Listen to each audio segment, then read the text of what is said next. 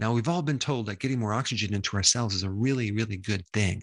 So many um, diseases occur because of this lack of oxygen, whether it's ischemia, hypoxia, whatever. Uh, oxygen is a good thing. So, today I'm going to reveal the secret of how to increase uh, available oxygen into your cells. And so, you probably already know that sleeping with the window open is going to help increase oxygen. Maybe having more plants in your room are going to give you more oxygen. Okay. You also probably know that exercise will increase oxygen, specifically aerobic type exercise. That's the exercise that occurs maybe when you're walking or a slight jog. Being outside in nature will also give you more oxygen, right? Uh, I recently did a video and talked about methylene blue can give you more oxygen to the cells, which is pretty interesting.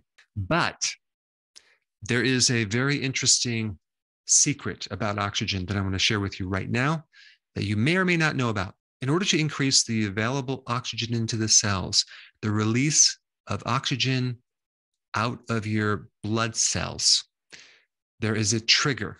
There is this thing that controls it. And that is CO2. That's right, CO2. You see, you probably thought CO2 was a waste product, and it's not needed, you know, as you're breathing out all the CO2.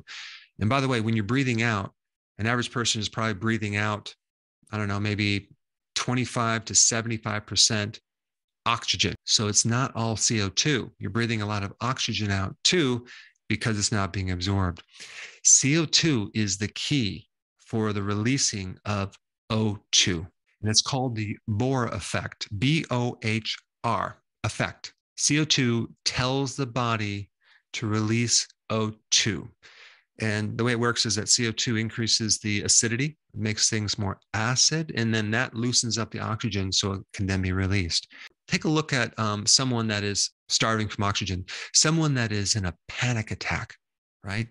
What are they doing? They are hyperventilating. What happens when you hyperventilate is you're trying to get a lot of oxygen, right?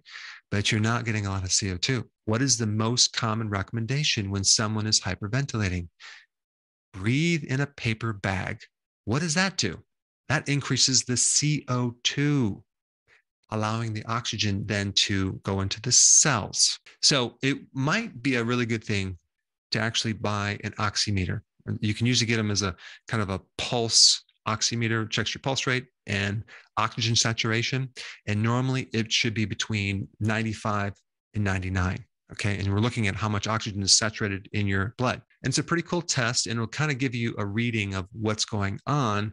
And so in this video, I'm going to show you how to increase the oxygen and raise it up to 99 or even 100. And you can do this test on yourself. At first, when you think about it, it's very counterintuitive. Um, we're going to increase our CO2 to increase our oxygen. Sounds weird, but it really works. Now, a couple ways uh, that you can increase more CO2 breathe through your nose versus breathing through your mouth. Yeah, that's right. Breathing through your nose gives you more oxygen.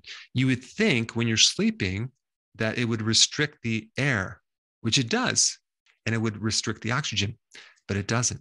You'll have a much better sleep if you breathe through your nose.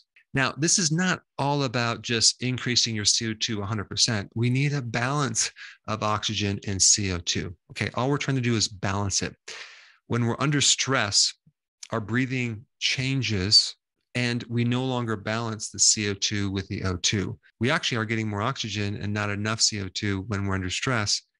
And that's just probably counterintuitive when you think about it, but the solution is to increase more CO2. And you can do that by simple breathing as well, like slowing down your breath, okay, and balancing out the inhalation with the exhalation. There was one study, which I'll put down below, that they added more CO2 to this oxygen and they gave this mixture of air to these group of people who all had hypoxia. That's a condition where you have lack of oxygen, right? And they all increase their oxygen saturation, which is really interesting. So you'll have to prove this to yourself to see if it's true, but you will find it is true. But by increasing your CO2, uh, you can greatly help stress, anxiety disorders, panic attacks. You can decrease inflammation. You can resolve many times depression. You can increase your endurance with exercise. You can decrease symptoms of respiratory problems like COPD or weaknesses within the lungs from past injury. You'll even be able to hold your breath longer.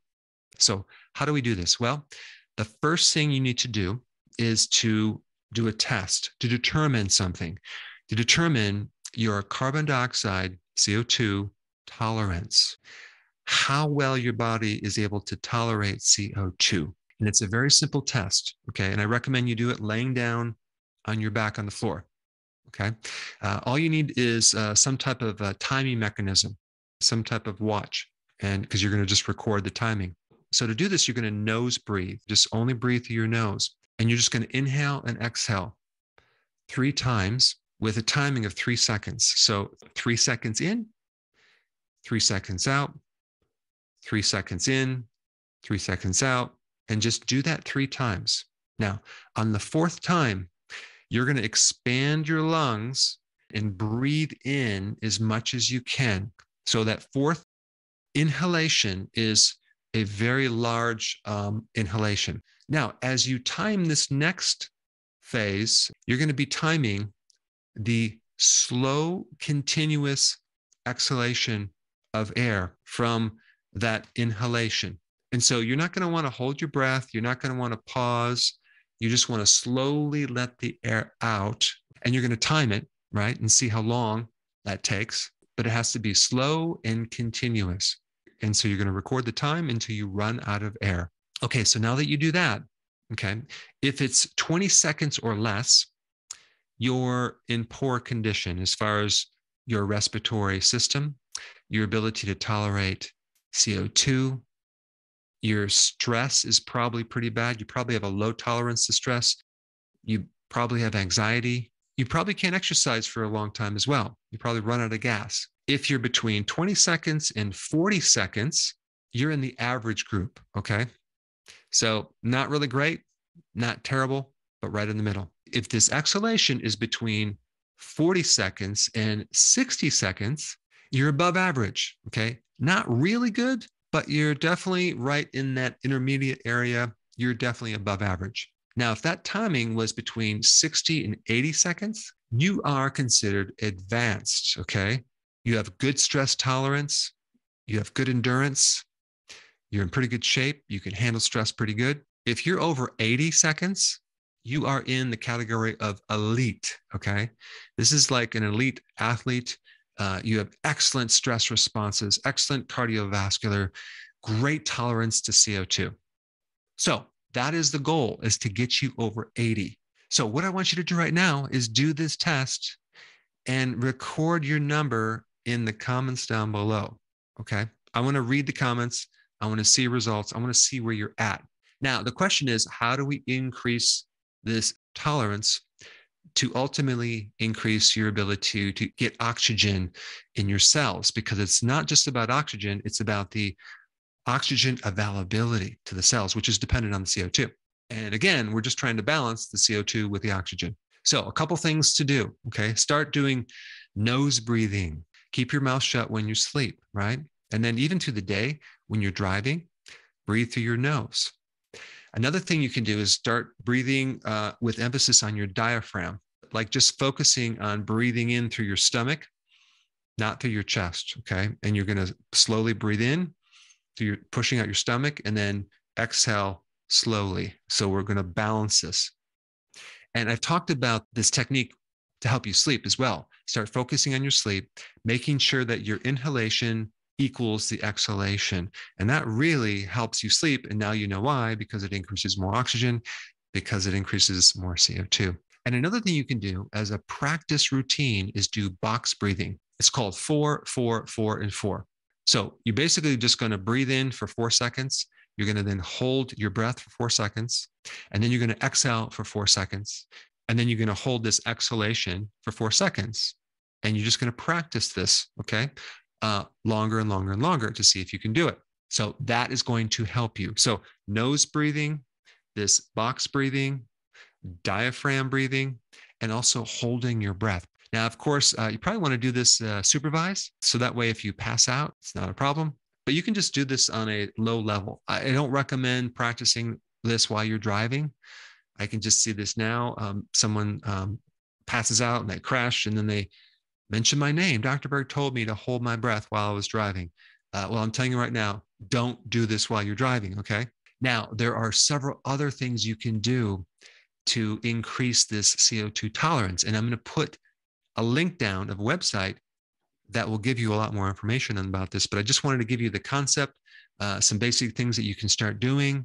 If you get an oximeter, now you can actually have some feedback and you can do your own testing on yourself to see what works. And then you can prove it to yourself. But anyway, there's some great information on this topic relating to panic attacks and asthma. And I, if you haven't seen my video on that, I put it up right here. Check it out.